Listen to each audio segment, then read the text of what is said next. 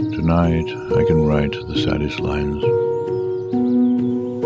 Write, for example, the night is starry and the stars are blue and shiver in the distance.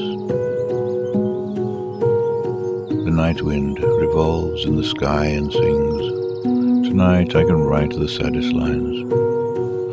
I loved her, and sometimes she loved me too. Through nights like this one, I held her in my arms. Kissed her again and again under the endless sky. She loved me. Sometimes I loved her too. How could one not have loved her great still eyes? Tonight I can write the saddest lines. To think that I do not have her. To feel that I have lost her. To hear the immense night still more immense without her.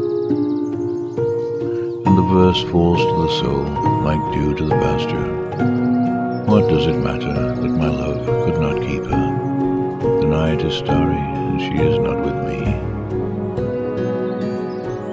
This is all.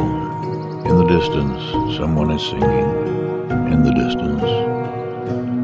My soul is not satisfied that it has lost her. My sight tries to find her as though to bring her closer. My heart looks for her, and she is not with me. The same night, whitening the same trees. We of that time are no longer the same. I no longer love her, that's certain, but how I loved her. My voice tries to find the wind, to touch her hearing.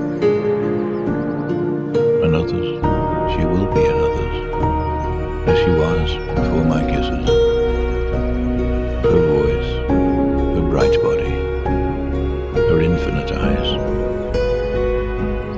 I no longer love her, that's certain, but maybe I love her. Love is so short, forgetting is so long. Because through nights like this one, I held her in my arms. My soul is not satisfied that it has lost her. Though this be the last pain